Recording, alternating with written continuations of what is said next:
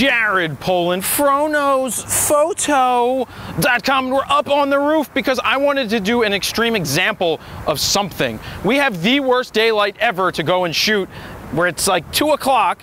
We've got the sun almost straight up in the air. We've got this really harsh shadow on the ground here, and we're not working with flash. It's our job to work with just a reflector, if my man stays where he's supposed to be, to show you how we can basically use what the reflector's letting us do to try to get images that can be useful here. So the situation is you don't have a flash. You can't make this happen by filling in flash, which is the ideal situation. We have to use the reflector and what it allows us to do. This is a five-way reflector. You have to be very careful with reflectors all the time anyway, so you don't kill yourself. Stay right there, man, or I will kick you. Don't wobble. Weebles wobble, but they never fall down.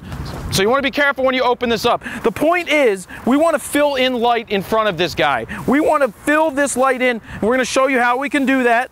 I'm just going to turn this so he doesn't fly away. Look, let's see this difference. We're going to put the white reflector in there. You see how the light's filling in a little bit? Steven, it's filling in, right? Oh, yeah. I don't know, I think it's filling in. And then we're going to do this with the gold Ah, there you go. You see how the gold is filling in? We'd get enough light in that person's face or body or torso of the mannequin to make it work. So you see that? Boom, popping that light back in there, and that would be a cool black and white. You see that? So that would be good for a headshot. One thing that you can do with your subject is ask them to hold this.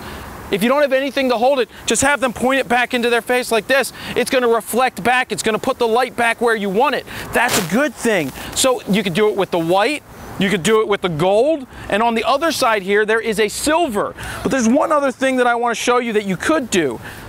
You can rotate this to be silver, but you can also use this as a way to scrim out the sun.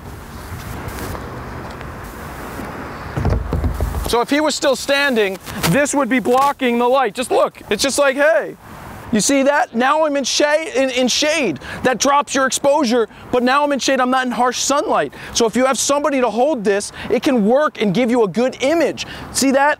Natural shade, it's diffusing the light, it's softening it. So one of these things isn't gonna cost you too much money. I don't even know how much these are, but this is a five-way reflector. It stays in my car at all times or in my loft, wherever I'm at, just in case I need the block light or in case I need to reflect light back into somebody's face or just I want to dance or have some fun with a reflector. So really, that's about it. It's pretty simple, but this is a good effective tool to have in your bag to get shots when you need to either block light out, diffuse light, bounce light back in using the silver, using the gold, whatever's gonna work best for you. This comes in major handy. So there you have it. From the roof, Jared Polin, FroKnowsPhoto.com.